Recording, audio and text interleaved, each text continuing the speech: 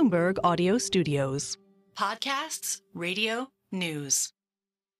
Hi, it's Merryn here. We have got something special coming up on October the 31st at 8 a.m. at Bloomberg headquarters. It is going to be Merryn on the budget. Well, not just Merryn on the budget, Merryn plus John plus Stephanie and plus special guest Andy King, who knows an awful lot about fiscal policy and fiscal matters. So it's going to be educational, maybe interesting, and we'll have a run through what the budget, about which we now know almost nothing, will mean for you. So if you're interested in joining us or signing up for the event, do look in the show notes where there will be a link or look out for it in Money Distilled John's brilliant newsletter, which I know you all get already. Right, onwards.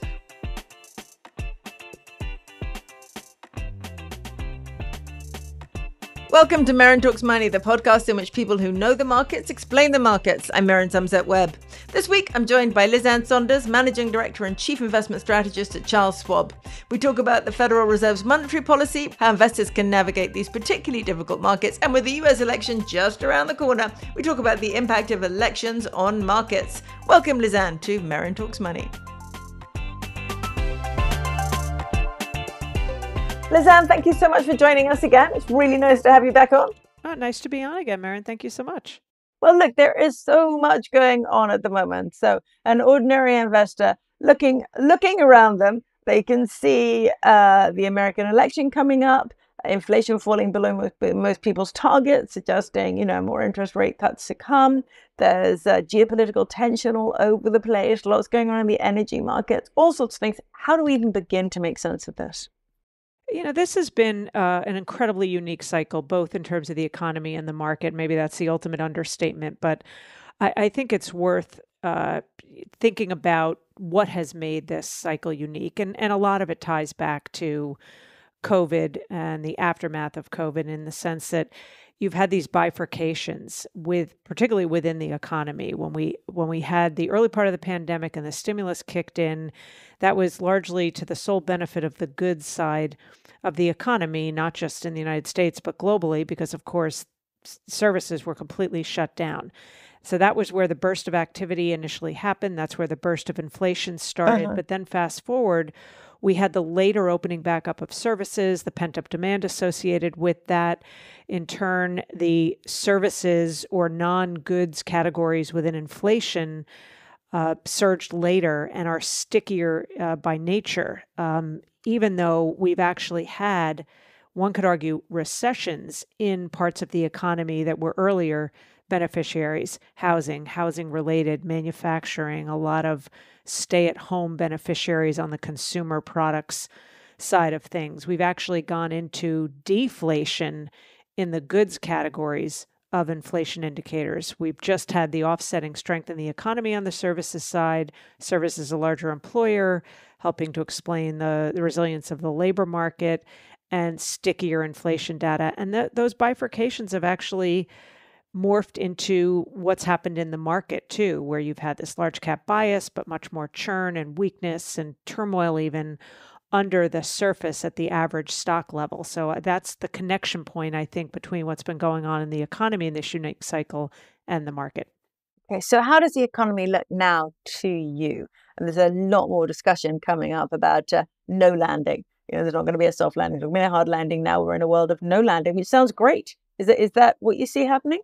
Yeah, it sounds great, but but again, we we have had landings. We've had hard landings in those interest sensitive segments of the economy, uh, and in the case of manufacturing, hasn't yet pulled out of its sectoral recession. It wasn't enough weakness to take the whole economy down with it, but we're still trying to claw out of hard landings in manufacturing, in housing, in housing related. Whether the rest of the economy, the more services oriented, can hang in there, so far, so good. The economy looks in decent shape. Services is a much larger share of the economy. So the economy can continue to chug along without an officially declared recession. I think the real key because consumption is such a big part of the US economy is for the labor market to remain healthy. I think that is the that has been the feeder into resilient consumption um, more so than traditional metrics like the savings rate or even in this cycle, the excess savings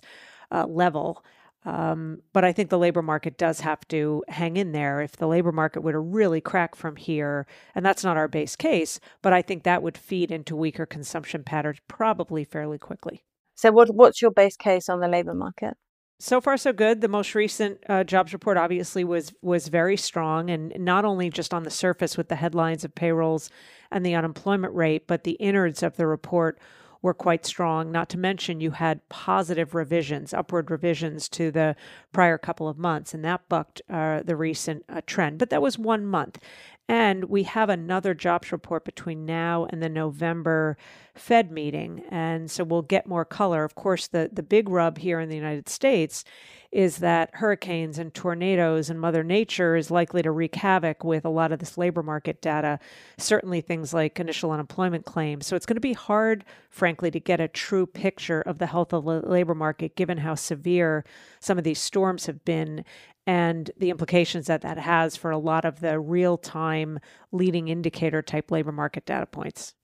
And those storms could then have an impact on the inflation data as well, right? Absolutely. I think it's a question of whether there's enough color commentary around any potential pickup in inflation suggestive of it being more storm related and not some turn back higher for traditional supplier demand uh, reasons. I, I think if you if you had a scenario where and, and we did get CPI last week, which wouldn't have been as as uh, sort of shaded by uh, some of the storm impacts, it was slightly hotter than expected.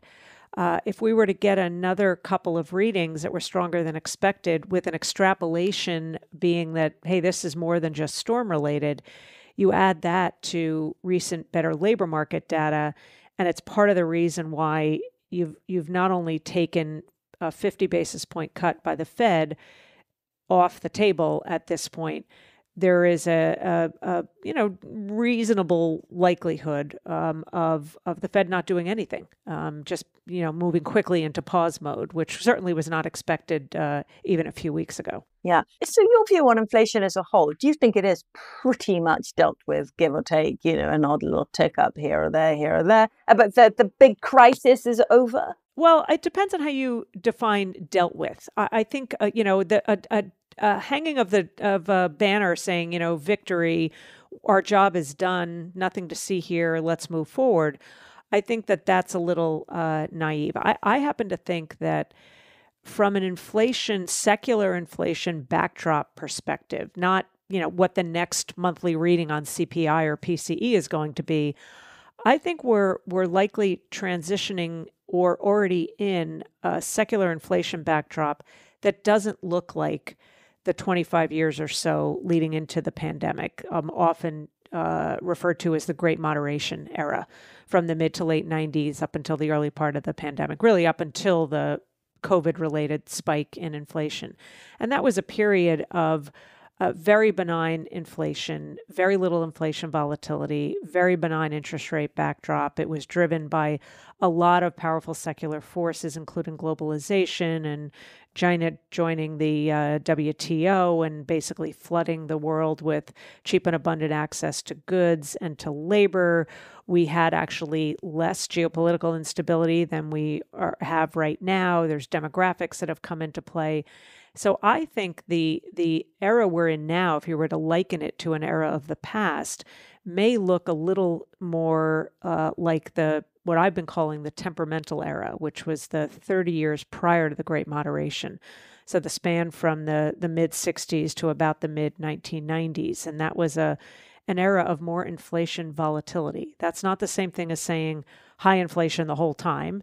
And that's not my perspective in this environment, but more inflation volatility, bigger swings on the upside and downside. And that was in conjunction with greater economic volatility. So shorter cycles, more frequent recessions, but stronger growth phases on the upside. And I think we may be back in that environment. And I think the, the Fed to some degree eh, may be in that camp too. And they want to be mindful of not repeating the mistakes made in the 60s and 70s in particular of premature uh, you know declaration of victory easing policy only to see inflation reignite again and then you know arthur burns having to scramble and tighten policy again and we went through that process twice uh, until Paul Volcker had to come in, did the same thing until finally interest rates had to be jacked up to the moon in order to finally combat this these fits and starts of inflation. So I think we're in a more inflation volatility, um, even if inflation in the near term is not set to to move up markedly.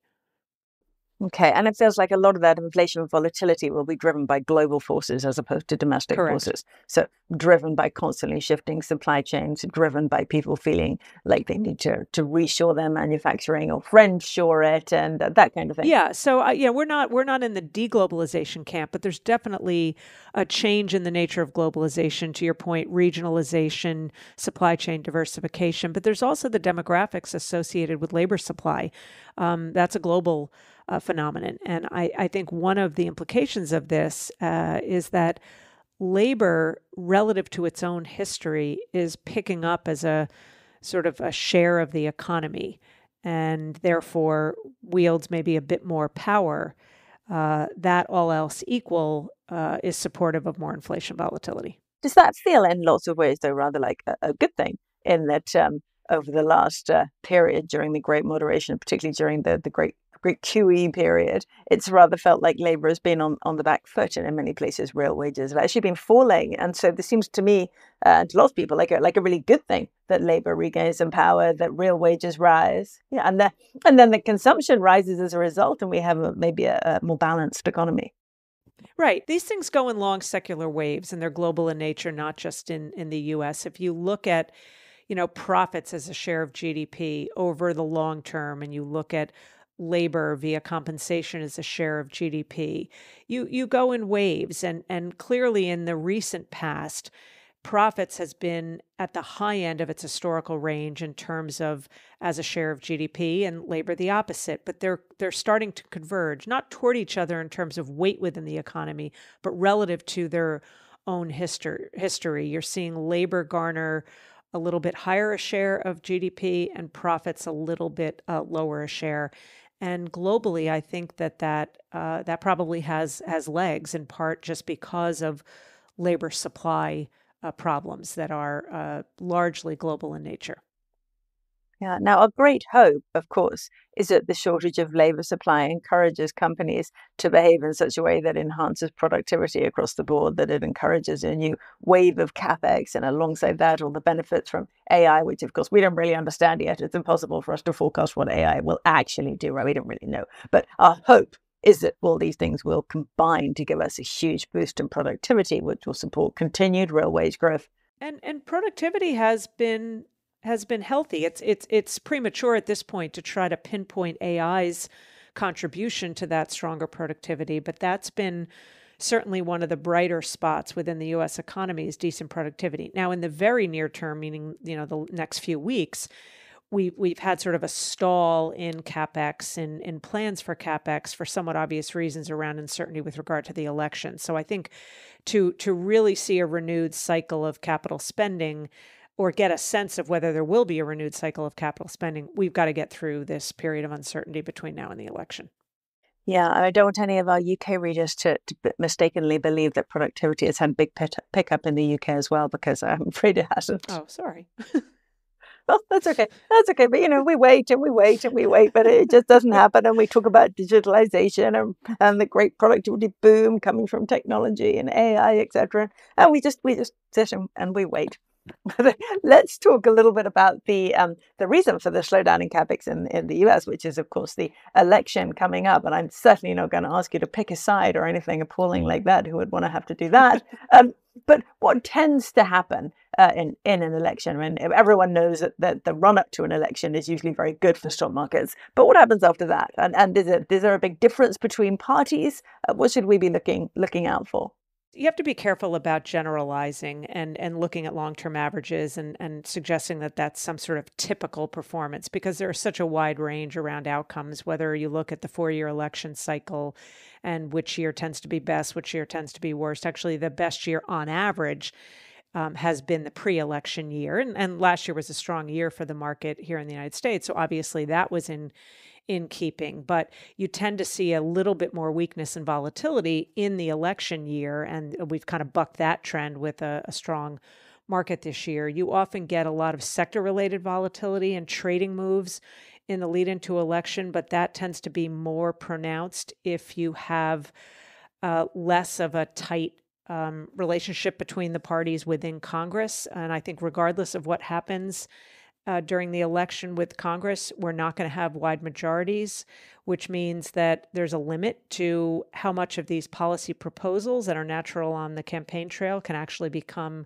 policies because of what is likely to be a pretty uh, narrow margin, uh, regardless of what happens with the makeup of uh, of Congress. It's also, frankly, a, a, bit of a fool's errand to to try to trade around election outcomes, especially if those trading moves are based on an assumption that the policies actually become policy proposals become policies. I, I think that there's a lot of naivete when it comes to that. I, I see headlines all the time of you know, if Harris wins, then taxes are going through the roof, or if Trump wins, are all the tax cuts are going to uh, remain in place, and that's just not it's not the way the government works. And uh, the other thing that happens is is I think th- there's assumptions that are made that translates into well, if so and so wins, it's good for fill in the blank. And and here's an anecdote that I think a lot of people don't realize and it, it highlights the, the care you need to take with applying politics too much to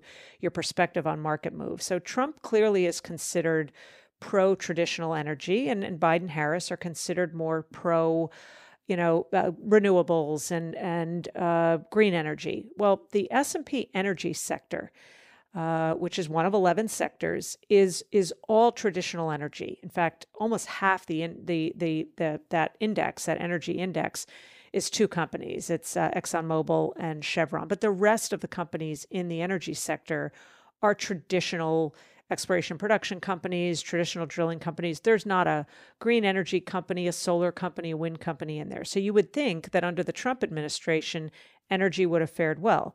Well, from inauguration day to inauguration day, energy was not only the worst performing sector, it was the only one down, and it was down by 40%. The next worst sector was up by 20%.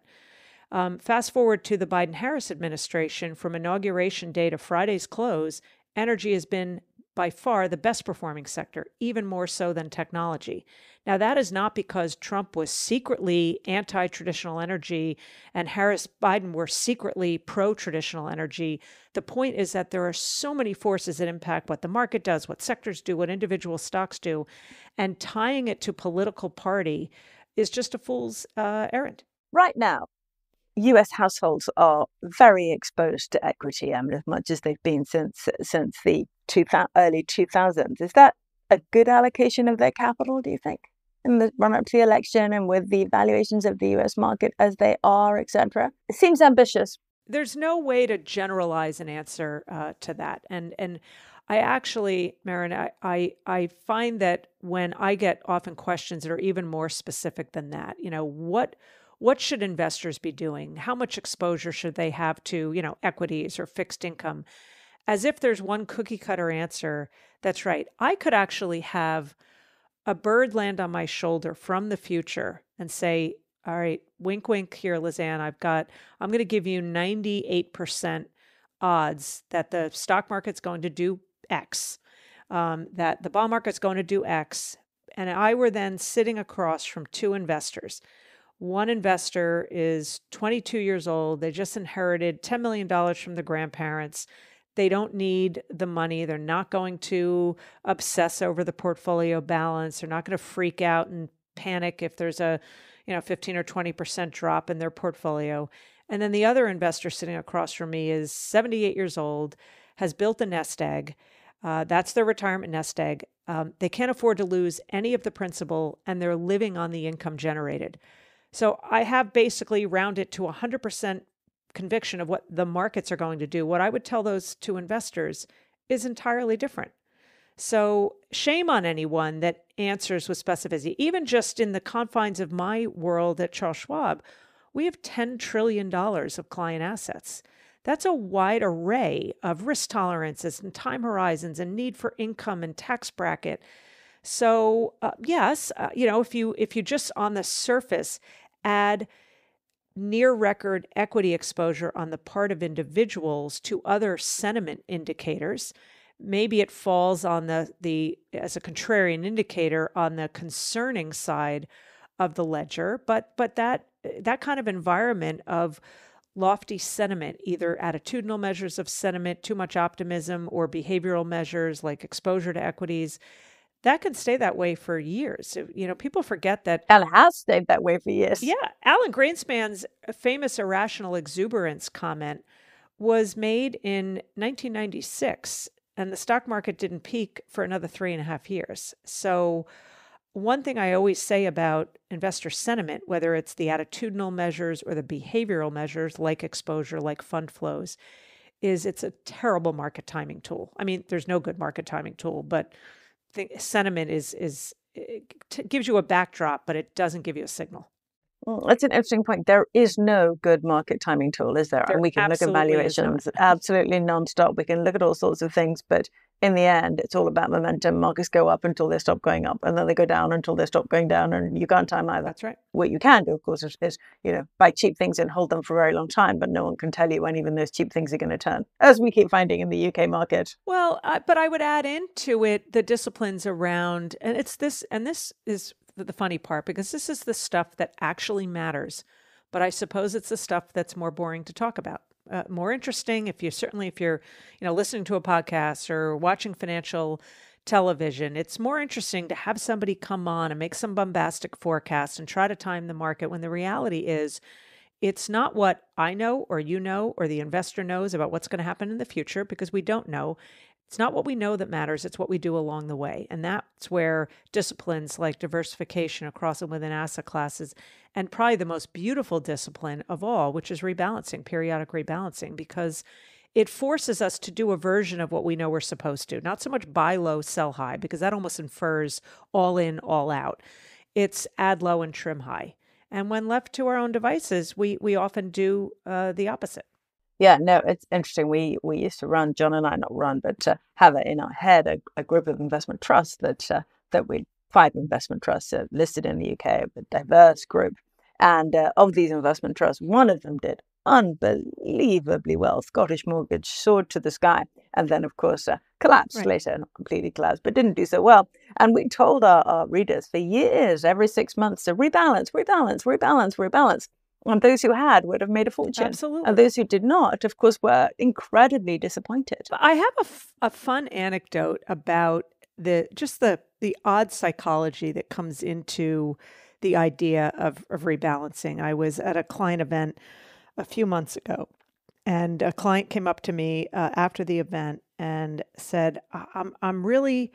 I'm really annoyed. I'm really frustrated. Uh, it was suggested that I trim a little bit of my NVIDIA position. So I did. I, I trimmed about 5% of the position, and the stock kept going up. And I'm really annoyed. So I paused and I said, Would you be happier with the 95% that you still own if the stock cratered? Because then you could pat yourself on the back for having trimmed a little bit at some perfect peak. And to his credit, he paused. He said, I can't believe I didn't think of it that way, but that's the right way to think about it. But it is, I mean, it is a, it's a difficult discipline. It's a difficult discipline. It, it you know, it, and it you have out there a lot of people saying, "Run your winners, run your winners, go with the momentum." No, it's it's hard for an ordinary investor who's making money to to think to themselves, "I'm going to have to sell some of that, even though I think it's going to keep going up." I mean, I absolutely agree with you. It's Yeah, just hard. It, it is hard, but um, the the downside is if you continue to let the winners just run, run, knowing that there will be an inevitable pullback phase, whatever the stock or the group or the index or the sector, and with the absent rebalancing, it just becomes a much larger share of your portfolio, and in turn. Uh, The the parts of the portfolio that might have been underperforming in relative terms will at some point have their day in the sun, and it just rebalancing just keeps investors in gear. It smooths the ride such that at the end of whatever the period is, there's just been less volatility, less emotional turmoil. even if you don't have the bragging rights of I just nailed the top and the bottom in this stock or this sector or this index, and which nobody can do consistently anyway. So I just think that they're sort of the unsung heroes of what matters for investors.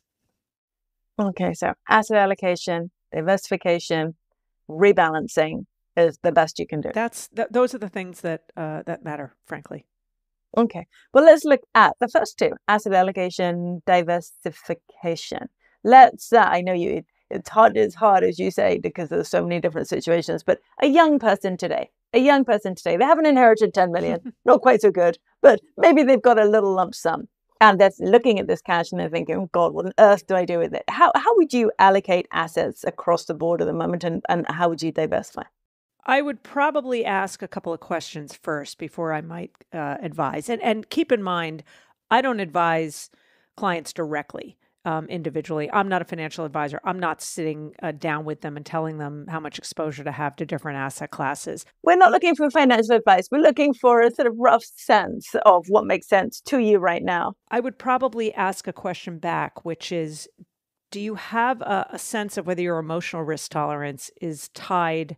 directly to your financial risk tolerance because I think a lot of investors learn the hard way that during a tumultuous period, a bear market or a crash or or really heightened volatility, that what they thought was a high risk tolerance based on things like time horizon um, turned out not to be if it resulted in in a panic and I, I can't I don't want to lose any more money, not because they need the money. So that that would be the first question back. But assuming some connectivity between the emotional and financial side of things, um, then I, I think it, it's proper to have a little more bias on the equity uh, side of things to make sure there's also some international diversification and not just domestic equities. Then there's more of the near term issues around whether um, you know an equal weighted approach makes more sense than a cap weighted approach. Uh, until very recently, the cap weighted approach was the, the right way to go, but it also established a lot of concentration risk yeah, for yeah. investors. And that's something that that's unique to this part of this cycle. So it's not that's less of the broad answer and more of the specific answer. There's also for individuals, especially that have a long time horizon, eh, there's been so much democratization of this business and asset classes and the ability to take diversification beyond just the standard stocks, bonds, cash, and the ability, even at low uh, um, you know allocation amounts to potentially have exposure within the private markets or commodities or precious metals. So I, I think that there has been an opening with this democratization to exposure to other asset classes to maybe make that diversification a bit more robust. You have to be mindful of tying up the money, which can often be the case in the private markets. But for a younger person that has a very long time horizon, um, that's something that could be considered uh, as well. Somebody that is, has a much shorter time horizon can't afford maybe to, to, to sort of lock some portion of their portfolio in asset classes that don't have that immediate liquidity. So that would be another consideration. It's something we talk about a lot. There's massive growth in the private markets, so, and whether there will soon be a pendulum swing back towards the public markets again, or if maybe you know, gradually, gradually everything will end up private slight exaggeration, but you know what I mean. It's definitely a shift. You think that's right? Yeah, but I, I think it's more of an and, not an or. I, oh. I don't. I don't. Particularly individual investors shouldn't be put in a position to think that they have to try to time public markets versus private markets. I think that there, frankly, to some degree, will always be opportunities in both.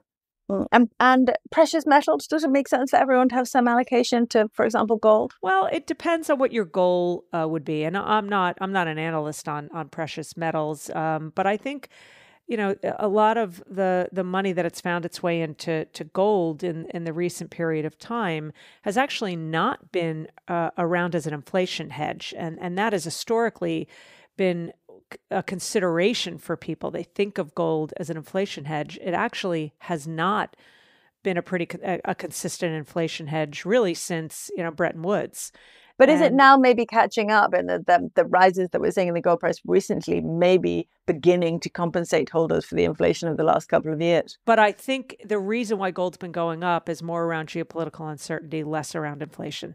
So I think the why behind gold's move up, I think, is important as a consideration. Yes, it's therefore been to the benefit of inflation having eroded um, other asset class performance, but I think the re- the reasoning behind moves into gold has been less about inflation and more about uh, geopolitics. Mm. Okay. What about the sectors that one traditionally, or the areas that one traditionally looks at during a an easing cycle? So small caps, infrastructure, this kind of thing. The sectors that people normally look at when they think interest rates are. are... Uh, you know, you're right that small caps tend to do quite well when you're in an easing cycle. The rub this time is that the the easing is is happening not because the Fed is combating a recession, but because they want to kind of get a jump on bringing policy back in line uh, alongside inflation that has uh, eased. But we clearly haven't had full blown recession type conditions. It's the combination of easier monetary policy and the inflection point coming out of a recession that has historically accrued to the benefit of small caps, where profits really got crushed, and you've got that leverage to a turn back up in the economy that happens obviously when you're coming out of recession. So we've got the easier monetary po- policy part of it, but we don't have that turn up anticipated in the economy that provides that huge profitability boost, especially in the down the quality spectrum for small caps. And it's still the case that 40% of the Russell 2000 index of small caps are some combination of not profitable or zombie companies, the, the companies that don't have sufficient cash flow even to pay the interest on their debt. So those interest payments on debt have come down, but you're unlikely to get that profitability boost, which is why in this cycle we're saying there are opportunities down the cap spectrum. You probably want to be mindful of looking for opportunities outside just the Magnificent Seven and the mega cap names but in doing so, you want to stay up in quality because of the absence of those recession type conditions that allow for that launch point that accrues to the benefit of the lower quality companies within small caps. I just don't think that that represents this cycle or where we are in this cycle. Okay, fair enough. Now, last thing this diversification across the board, would that for you involve crypto? No. No. Would it not even involve Bitcoin? Okay, but so I'm if a skeptic. I... am an avowed skeptic. what is your I, what's your skepticism based on? I have yet to get a, a, compelling answer to a question I ask everybody that's either an expert or a believer, which is what problem is this solving for? I get lots of different answers, but none that are terribly compelling. It's not a currency. Um, it, it's not. It's not a store of value. It's not a medium of exchange. Uh, it's a. It's a speculative investment that's made a lot of people a lot of money. So have at it, um, but just be mindful of, of of what it represents. It's not the next Bitcoin is not taking over the from the dollar as the world's reserve currency. It's not a currency. So um, I think, frankly, a lot of the same type of money, meaning the rationale behind it, um, that has that might have otherwise gone into crypto, is some of the same conceptual money that's gone into gold. Yeah. Okay. So if I gave you a choice of gold or Bitcoin, I'm kind of guessing you choose gold. Yes. Good thought. Is there any? Is there anything that would make you change your mind? Uh, uh, not not that I can think of in the near term. I, that I'm not a I'm not a, a you know a gold believer forever. I'm not a gold bug by any means. I just when I when I look at at the type of flows that we've seen, I, I think there's a little bit of a mirror, and I think uh, probably it's a little bit more of the air quotes, you know, smart money that that veers into precious metals for maybe some of the same perceived reasons as as the money that's gone into crypto. But I think crypto is more of a kind of a money chasing. I I I I I want to make a lot of money. I want to speculate, and and you know everybody has the right to to do that. But I think there's less there there in terms of of it representing um, something compelling. And and you know, in the case of Bitcoin, Bitcoin's been around since 2009. When people say, well, it's still in its infancy, and therefore, you know, give it time to become a true medium of exchange. And in the world of innovation and technology, I don't know, 15 years is a long time. It is quite a long time, isn't it? You would have thought someone could have come up with a good answer to what's it for by now. Right. um, Liz Ann, thank you so much for joining My us pleasure. today. My pleasure.